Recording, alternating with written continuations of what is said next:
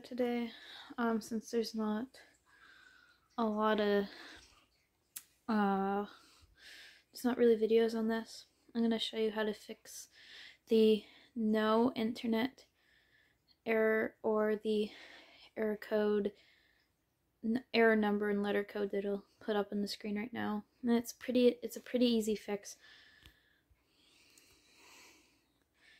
Uh, for some reason my screen keeps blurring. Basically, this error for me came up on YouTube and Spotify before I was able to log in. So this error usually occurs when your clock is like not on the right time. So basically you just go to settings.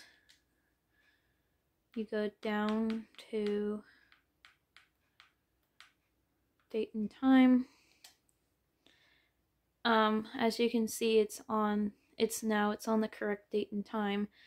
But before this, it said it was, um, it was 2000, sometime in the year 2011. And when it was 10 o'clock, it said it was like 1 something p.m. when it was 10 o'clock a.m. I would suggest setting the clock manually instead of redoing resetting your time zone.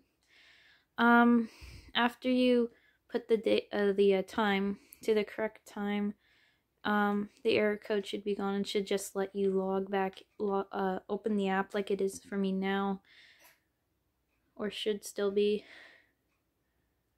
A few moments later. See, like,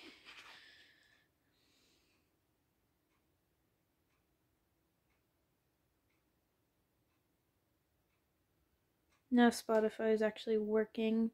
Usually after that picture of the guy listening to music, that error, exact same error code will come up. But now that I've changed, fixed my time to the actual time, it actually works this time. So it just lets you right into the app. Um, I do hope this, I do hope this, uh, that this helps since there's not really a tutorial on how to fix this error code um, yeah, if you guys need any more help with errors, uh, just at, let me know. Yeah.